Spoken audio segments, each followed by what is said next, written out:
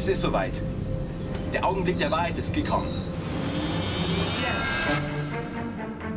Sind wir jetzt aus dem Zeitloch draußen oder nicht? Das werden wir herausfinden. Was ist denn das? Hier stimmt irgendwas nicht. Also ich habe nicht das Gefühl, dass wir aus diesem verfluchten Wald draußen sind. Ich habe alles dafür getan, damit wir rauskommen. Und warum sind wir dann nicht auf der Hauptstraße, sondern wachen aus einem Tiefschlaf auf?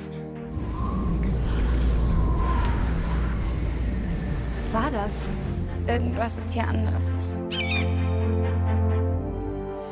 Hey, warte mal! Oh. Zum Glück habe ich jemand gefunden. Wer bist du?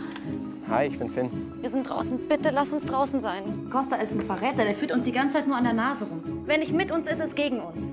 Ich bin mir nur nicht sicher, ob wir, ob wir alleine sind. In meinen Abenteuerbüchern passiert immer irgendwas Schlimmes, wenn die Freunde sich trennen kalt hier auf einmal. Das Böse hebt sich wieder. Lass uns bitte zurückgehen. Bitte. Sie sprechen eine neue Zeit an. Irgendwas ist hier passiert. Irgendwas ist da draußen im Wald. Ah! Ich warne euch. Master.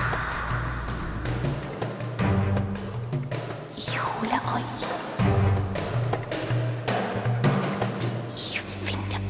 I